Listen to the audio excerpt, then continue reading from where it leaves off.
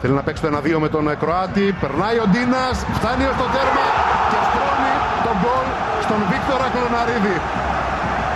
Τι ωραία βραδιά για τον μικρό, τον Βίκτορα Κλωναρίδη στην παρθενική εμφάνισή του με την πράσινη φανέλα βάζει το όνομά του στους, είναι μάλλον ο μοναδικός σκόρερ μέχρι τώρα στο μάτς από ένα σλάλομ του Ντίνα σε συνεργασία και με τον Πράνιτς